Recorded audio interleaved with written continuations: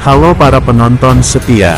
Jumpa lagi bersama kami, yang akan memberikan kabar terbaru, terupdate, dan terkeren tentang Ayu Ting Ting dan Boy William.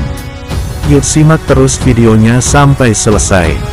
Namun sebelumnya, untuk kalian yang baru bergabung di channel ini, mari kita bangun channel ini bersama-sama dengan cara subscribe dan aktifkan notifikasinya agar kalian selalu mendapat update terbaru tentang kehidupan Ayu Ting Ting dan Boy William, serta seputar dunia selebriti di tanah air ini.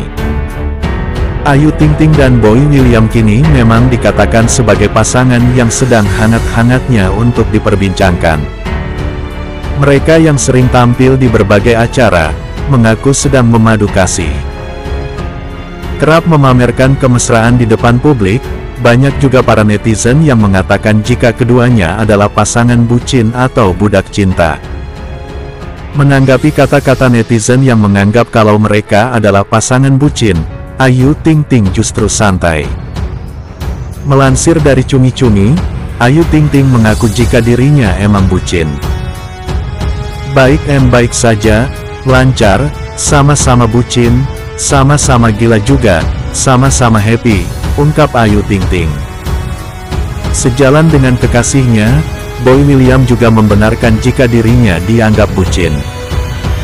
Ia bahkan mensyukuri doa netizen tersebut.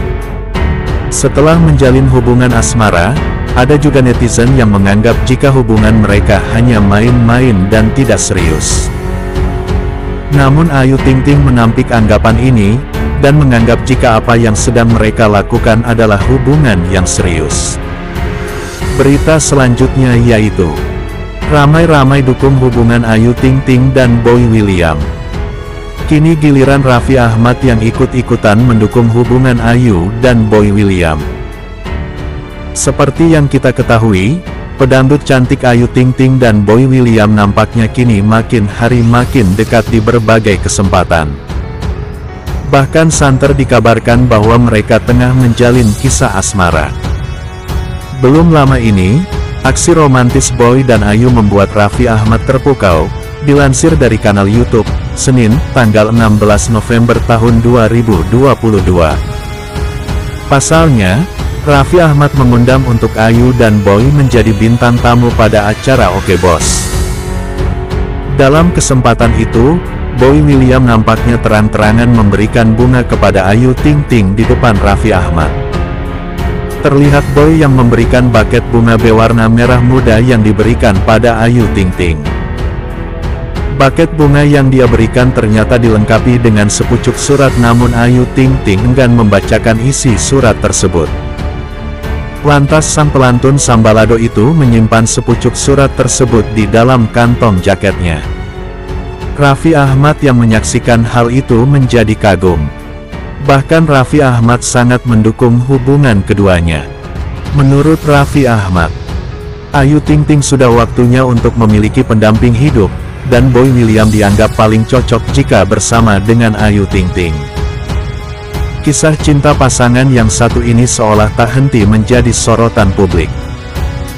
Dua sejoli Ayu Ting Ting dan Boy William, selalu berhasil membuat para penggemar ikut terbawa perasaan. Chemistry yang diperlihatkan keduanya memang begitu erat, sehingga memperkuat dukungan agar keduanya segera melangkah ke jenjang yang lebih serius. Berawal dari kolaborasi film hingga konten YouTube, benih asmara tumbuh dan bersemi, hati pelantun lagu Sambalado itu akhirnya membuka hati pada Boy William. Paras tampan dan sikap pantang menyerah Boy William pada akhirnya mampu meluluhkan hati Ayu Ting Ting.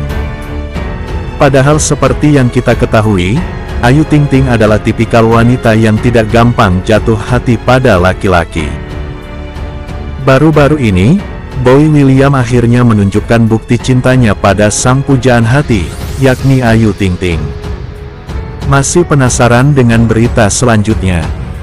Ikuti terus channel ini yang akan memberikan update terbaru tentang dunia selebriti.